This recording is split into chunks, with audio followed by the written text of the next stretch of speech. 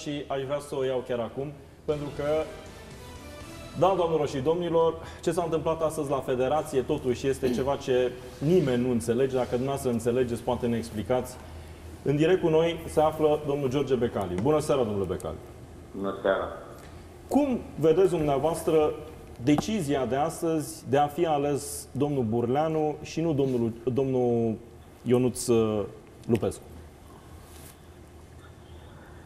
Păi da, nu știu că nu pot să-mi dau un răspuns și nu pot să vă dau nici dumneavoastră un răspuns. Adică eu vă mărturisesc că așa de debusolat n-am fost niciodată.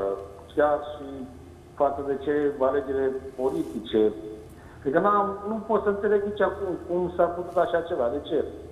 Pentru că eu nu înțeleg cum toată flora fotbalului românesc în frunte cu Mircea Lucescu și chiar și cu oameni mari din fotbalul european. L-am văzut la dumneavoastră pe Alex Ferguson. Deci toată generația de aur susținea Lupescu. Pe de cealaltă parte era Burleanu. Ce a făcut Burleanu? Când a venit în patru ani, eu zic că a dus fotbalul de râpă. Ce a făcut? L-a adus un străin, da un selecționer, a adus președinte la arbitraj un grec, pe Vasaras, și atunci,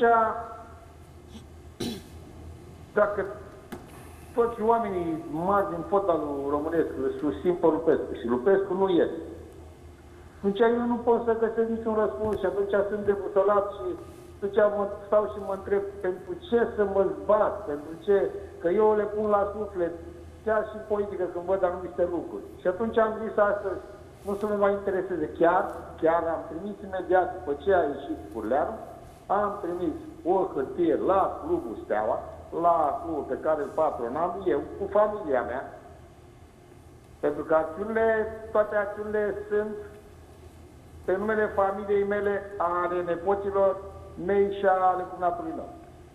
Și am decis că azi mă retrag din fotbal, nu mai hotărăsc, nu mai am niciun fel de legătură cu steaua, numai că sunt, ca să spunem așa, părintele fondator. Dar familia se va ocupa, nepotul meu, Vasile Giambazi, el va lua frâile de la mine, eu nu mă mai implic, nu mai am niciun fel de tangență ca, de implicare. Ca și suporter, vă dați seama, cu inima sunt, voi merge la meciuri, voi ține cu, cu, cu FCSB, îi spun FCSB, ca să nu deranjez pe nimeni, să-i spune ei cum vot, dar eu, atâta timp cât se întâmplă ce se întâmplă în fotbal, că un om ca Lupescu nu e votat, e votat un om ca Burleanu, care ne-a ciuruit astăzi, în ghilimele, eu nu mai am de-a face. Deci am dat această, am luat această hotărâre și am trimis la club. Hotărârea mea o să fie mâine citită, o va face cunoscută, deci clubul o va trimite la federație și la ligă ca să nu mai fiu considerat afiliat sau afin sau factor de decizie la clubul Steaua. Asta este hotărârea pe care am luat-o datorită celor întâmplate astăzi, că a ieșit Burleanu președinte. Foarte interesant. Deci, dumneavoastră, după decizia de astăzi, după alegerea de astăzi, vă retrageți, e un fel de protest, e un fel de... Care... Da. Da? Dacă vreți, dacă vreți, este și un protest, pentru că dacă ne comandă fotbalul feminin și fotbalul, atunci eu nu mă regăsesc acolo.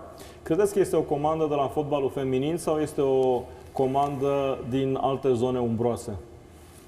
Domnul Gudea, nu mai vreau să mă pronunț pentru că fac păcat, dacă nu știu sigur. Așa, supoziții și tot felul de regii putem să gândim. Dar un lucru este clar. Ori vine din partea unor servicii, dar o să spuneți, a, iată tot felul de scenarite. E clar că un sprijin a avut de la dânsul, că i-am văzut și cu dânsul și cu uh, ăsta, Maior, în poze cu echipa națională. ce căuta el mai că niciodată n-a fost în viața lui. El dând cu echipa națională niciodată n-a fost. Am văzut și la voi în presă că s-au cheltuit vreo 800 de mii de euro pe, pe care au cheltuit cu filmele lui Dâncu. Nu știu, nu, eu spun ce am citit, nu vreau să aflu. E clar că s-a, s-a folosit și de funcție. Adică având funcția asta, Burleanu, a aplicat un fel de tiranie, adică voi, eu cu banii voștri, cu banii asociației sau a federației, care sunt banii membrilor a feder- federației, cu banii ăștia eu știu să-mi cumpăr votul. Adică le-a dat anumite avantaje, 3 porți și 10 mingi, și așa ne-a luat votul. Cred eu că altfel nu are nicio explicație. Păi cum dacă noi nu ne-am calificat la nimic, dacă el a distrus fotbalul, până acum cum să-l voteze în detrimentul lui Lupescu? Cum? Dacă n-a ținut nimeni seama, cum adică nu ține nimeni seama de ce spune Hagi, de ce spune Lupe- Lucescu, de ce spune Gică Popescu, de ce spun mari, mari uh, fotbaliști, generația de aur, nu ține nimeni, nu ține nimeni cont de toată opinia publică, de ce vrea toată țara, de ce vreți voi, toți jurnaliștii de sport și chiar de altele uh, emisiuni. Adică toată lumea e cu Lupescu, dar nu- nu îl votează pe Lupescu. Dar probabil mă gândesc că așa cum văd și la dumneavoastră, statul ăsta paralel care vrea să spun așa, băi, uite că nu e pentru noi mare lucru fotbalul, că nu ne ajută nouă. Dar uite că și la fotbal vă demonstrăm ca să vă dăm, ca să ne dea de înțeles că de fapt ei ne controlează peste tot și că ne stăpânesc în toate în toate domeniile de activitate, uite, vă punem și un șef la FRF, ca să vedeți că voi, de fapt, sunteți niște trepăduși care sunteți comandați și controlați în toate domeniile de activitate în țara voastră. Am Asta văzut- așa gândesc eu.